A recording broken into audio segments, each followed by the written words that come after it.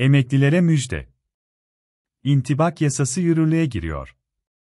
Temmuz zammı ne kadar olacak?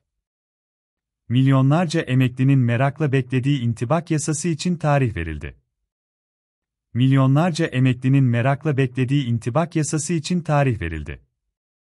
Çalışma ve Sosyal Güvenlik Bakanı Vedat Işıkhan'ın yaptığı açıklamalar emeklileri sevindirdi. İntibak yasası ne zaman yürürlüğe girecek? 2024 yılında yaklaşık 16 milyon emekliyi ilgilendiren intibak zammı için tarih verildi. SGK uzmanı Özgür Erdursun, intibak zammının Temmuz ayında emekli maaşlarına yansıtılacağını açıkladı. Kimler intibak zammından faydalanacak? İntibak zammı, 2000 yılından sonra emekli olanları kapsayacak. Bu sayede 2000 yılı öncesi ve sonrası emekli maaşları arasındaki fark giderilecek. İntibak zammı ne kadar olacak? SGK uzmanı Özgür Erdursun, intibak zammının yaklaşık 8 bin Türk Lirası seviyelerinde olacağını tahmin ediyor.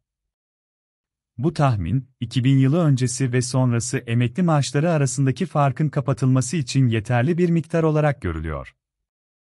Emekli maaşlarına yapılacak diğer zamlar.